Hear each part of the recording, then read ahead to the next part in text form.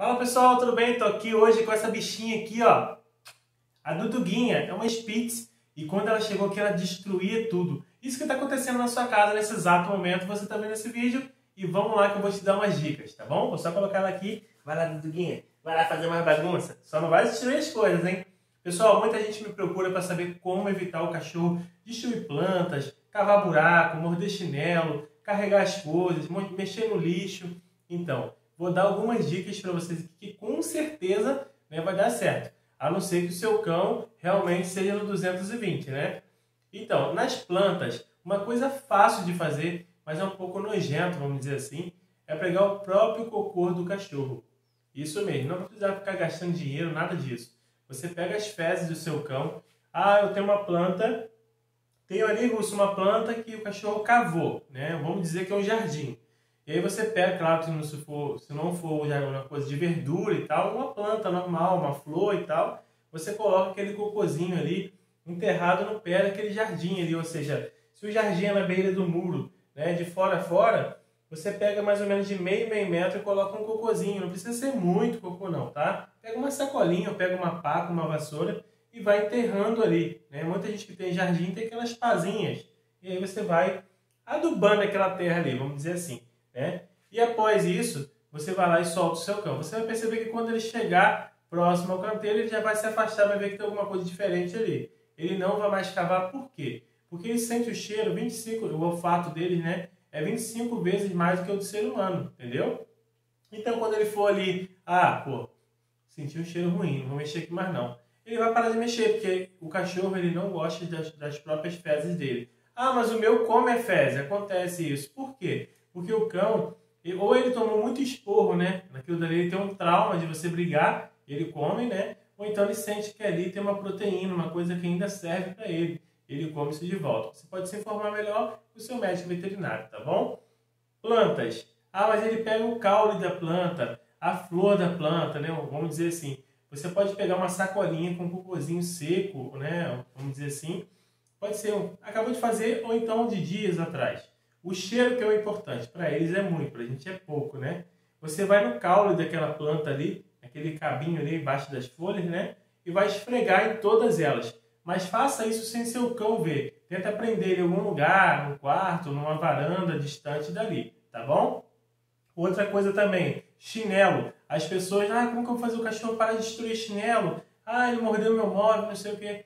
Vai na farmácia e compra cânfora. O nome é cânfora, é umas pedrinhas. Você vai comprar um borrifador, tá? Vai colocar vinagre de álcool, vai quebrar essas pedrinhas vai colocar cânfora. E vai sacudir bastante, como se fosse curtir uma pimenta, sabe? Então você deixa curtir bastante ali, tira o seu cachorro do local e vai lá começa a borrifar naqueles lugares. Faça isso uma vez por semana. Ah, no pé da cadeira ele está mordendo, vai ali e borrifa. No meu chinelo, vai debaixo do chinelo, borrifa o cheiro vai entranhar ali. Você sabia que quando você lava uma roupa sua, depois, mesmo lavado, o cachorro sabe que é da sua, porque o seu cheiro fica entranhado ali. Por mais que tenha cheiro de amaciante, de sabão, tá? Os cães não faram muito apurado, tanto que são usados, assim como minha cachorra, para busca, resgate, entorpecente, tudo isso, tá bom? Então faça isso que vai dar certo. O Duninha tá aqui dando para aparecer no vídeo de novo. Pessoal, outra coisa também é o cachorro, né? Morder porta e tudo isso. A cânfora a, a, principal ferramenta sua vai ser cânfora e vinagre. Pode ter certeza. Ah, meu cachorro está destruindo cânfora e vinagre. Está mijando na roda do carro. Cânfora e vinagre. Vai ficar o cheiro entranhado ali.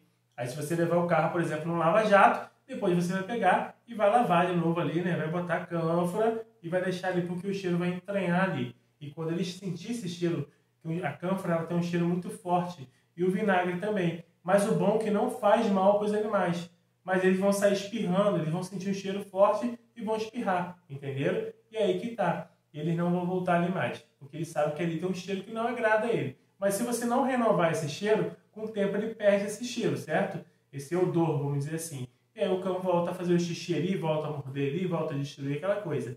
Mas nas plantas, no seu jardim, nos buracos, coloque cocô ou esfrega o cocô do cachorro ali. É, é nojento de falar assim, mas você vai ver que vai funcionar. Eu poderia te indicar várias coisas para você comprar, mas a melhor coisa que tem é o próprio cocô do cachorro. Por quê? Porque se você perceber, ele faz cocô e xixi longe de onde ele fica. Ah, tem alguns cães, tipo de 100 cachorros, dois faz e deita em cima. Acontece.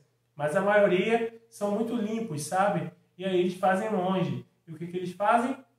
Se afastam dali. Eles se afastam da onde que eles fizeram o cocô e o xixi. Então, se você passar o cocô deles na planta, ou no caule da planta, ou enterrar no buraco, quando eles começarem a, se, a mexer ou morder, eles, eles vão fazer subir o odor, aquele odor que está concentrado ali.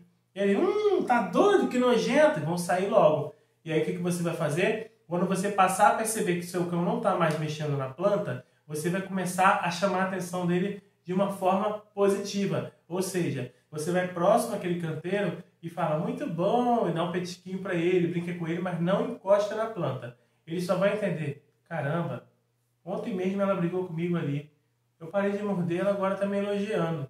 Vai ser um treinamento positivo, tá? Você não precisa bater no seu cachorro. O seu cachorro entende o que você quer. Basta você saber ensinar para ele. Não cobre do seu cão uma coisa que ninguém nunca ensinou. Eles nasceram sem professores, tá bom? Então, uma dica muito legal para o cachorro parar de mexer nas plantas e cavar buracos no seu, quintal é colocar o cocôzinho dele no buraco, mas não adianta você colocar lá embaixo e enterrar muito, sabe?